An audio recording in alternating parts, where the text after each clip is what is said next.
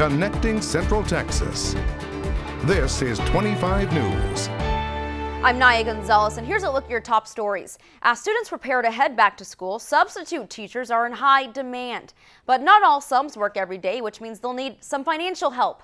According to the Texas Association of School Boards, a substitute can claim unemployment benefits when they're not working.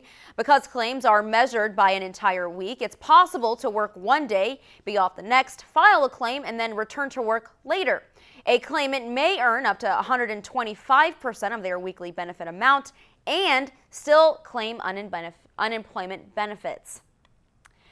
People are ingesting hand sanitizer, and the CDC says many are becoming extremely sick, even dying.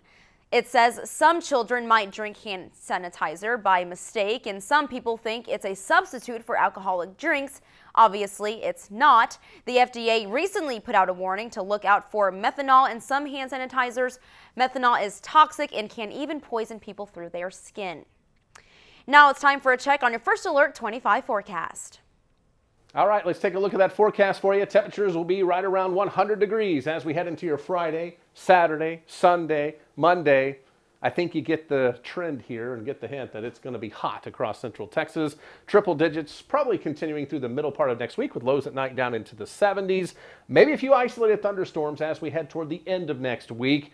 It's still kind of a wishful thinking type of forecast right now, but some models are indicating we could get at least a few isolated thunderstorms in here into central Texas, so it's something we will continue to track.